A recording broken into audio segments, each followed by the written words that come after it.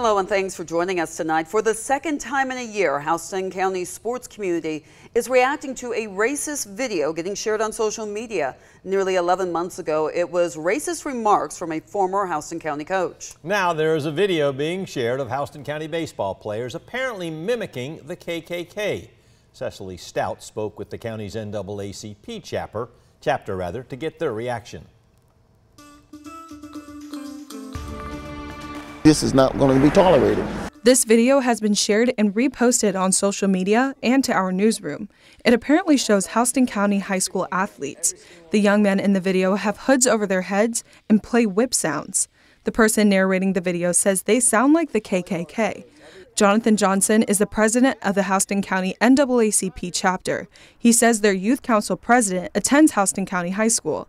Johnson says some of the students are upset, but this isn't the first time. They were shocked. Uh, that's why they wanted to be a part of the NAACP as well because there's been some things going on there for some years. The man behind the camera starts to name people in the video. The names match those of players on the Houston County High School baseball team.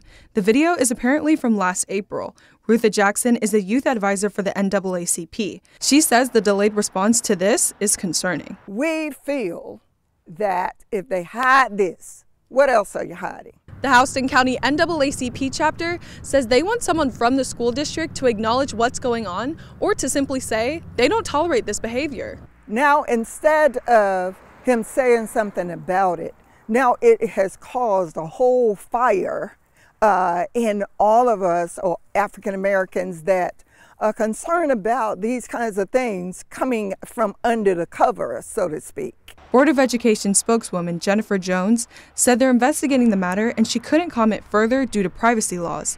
In a statement from the Board of Education, they write all students in Houston County are expected to uphold the Student Code of Conduct. Any violations will be dealt with appropriately in accordance to their discipline procedures. Jackson wants young people to be more aware.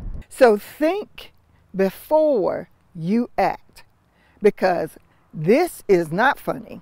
In Houston County, Cecily Stout, 13 WMAZ News.